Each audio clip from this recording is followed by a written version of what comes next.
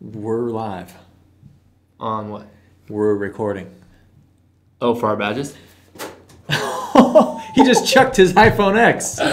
you know why? up? Because I'm pumped for this badge. Oh, what badge is it? I'll chuck that thing again. Silver presentations badge. He's so pumped he just chucked his thousand dollar iPhone X on the ground. And he threw it on the ground. Cement round. I'm Justice. I'm Jacob. and I'm not gonna throw my iPhone X on the ground because I'm a smart nerd. But, you know, you're a rich nerd, so go ahead. Question one. Let's create our own presentation with Google Slides. What's the first step? Step one, you say we need to talk. You know. I always sing lyrics whenever I have the opportunity. I Do should it. stop that. No, don't stop. Step one, you need to open Google Drive. You guys saw that coming. Question two. We're at our Google Drive. What's the next step? All right, well, we've done this a couple other times for a couple other things. We can create a new blank presentation. Yes, we can. So nice. Question three. So nice. When we first create a presentation, it looks pretty boring Aw. with just black text and a white background. So boring. We can make it more exciting by choosing a this thing called a theme slash. I did it. Oh, template. You can choose a theme or a template, something that already has cool colors and designs and pictures and stuff that's already preloaded, so you don't have to, you know, come up with it yourself. You can just use it. I like it. Question four How do you choose a theme?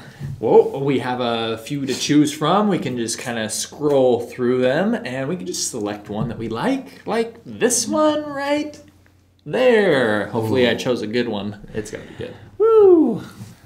Uh, oh, that was it. Yeah, scroll through the themes, the themes, and select one that you like. All right, question five.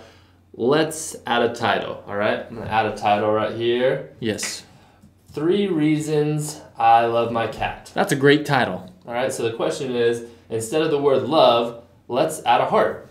What's the first step? Well, we can select this cool tool called Shape. We can create different shapes with it, um, and we can choose to make uh, a heart by choosing the heart shape on that tool. That's right, yeah. So we chose the heart. All right. Question six. We chose the heart. What's the next step?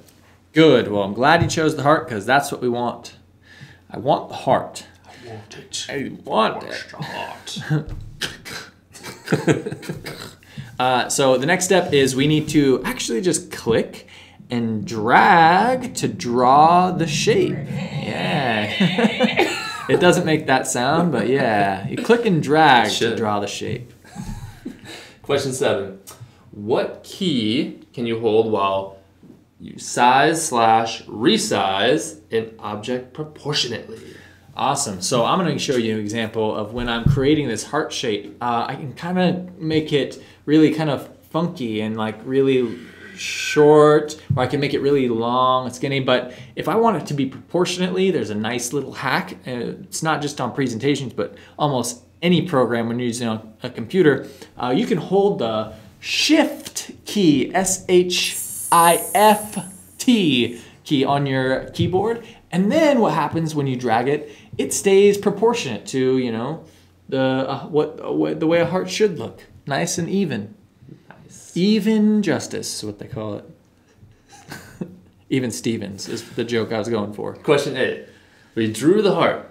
What's the next step?